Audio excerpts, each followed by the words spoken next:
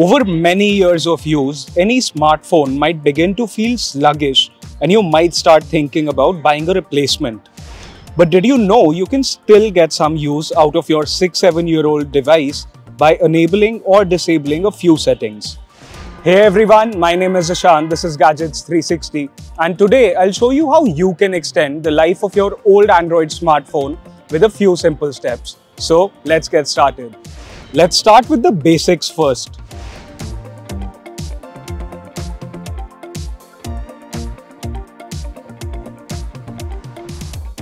Uninstall all the bloatware and apps you don't need, especially the ones that came pre-installed but you've never needed to open. This will free up storage space on your smartphone and the background processes will use less RAM.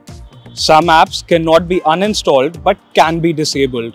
In such cases, long press on the app, tap on the information icon, tap on uninstall updates if it appears, and then tap on disable. You might see a prompt saying the app might not function properly if you do this, but still go ahead and disable it.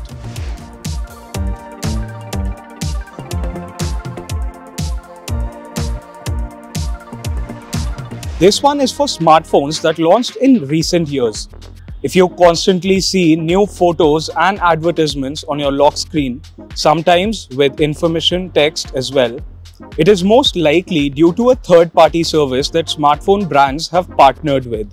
It is called Glance and it consumes some of your data and battery capacity. It also stays running in the background and could make your phone feel slow. To disable it, go to your settings and search for Glance. You'll be directed to wherever its setting is located and you can now disable it.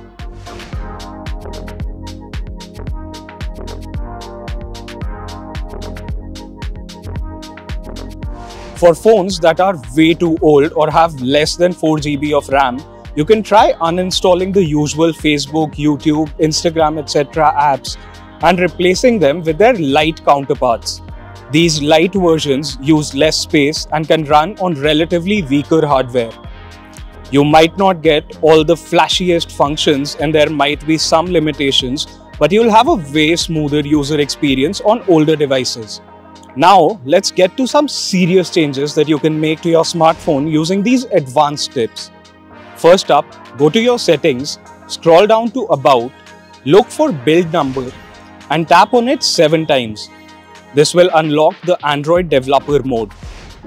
Now go back to the main settings menu, scroll down for system and you'll see developer options there.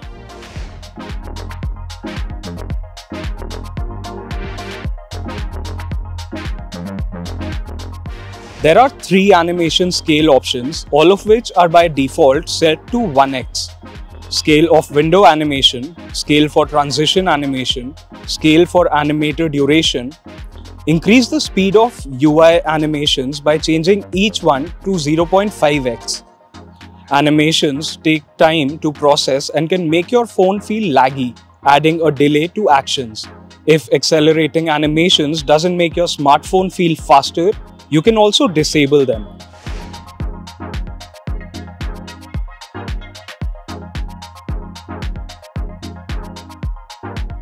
Head to the developer options and look for background process limit under the apps heading. You can try all the options and choose the one that works best for you. I hope these tips will make you want to stick to your old Android phone a little longer or find new uses for it. That's it for today's video. See you guys in the next one. And for all things tech, stay tuned to Gadgets 360.